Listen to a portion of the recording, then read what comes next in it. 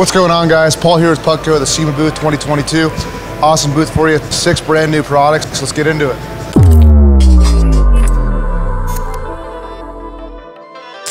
All right, so we have our virtual blade. This is our uh, grill light blade. You know, nice mount there. Uh, mounts pretty universal to every uh, front of the truck. We have three sizes, an 8-inch pair, a 30-inch, and a 37-inch. Great accent for your front end of the vehicle, matches your emblem perfect. We have uh, signature startup animations for it too. So this is our number one.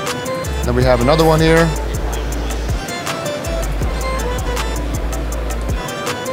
And you have your choice between amber and white running lights with that too. Also, for you uh, fleet guys out there, it'll strobe as well. So you have a lot of features, functionality packed into one bar right here.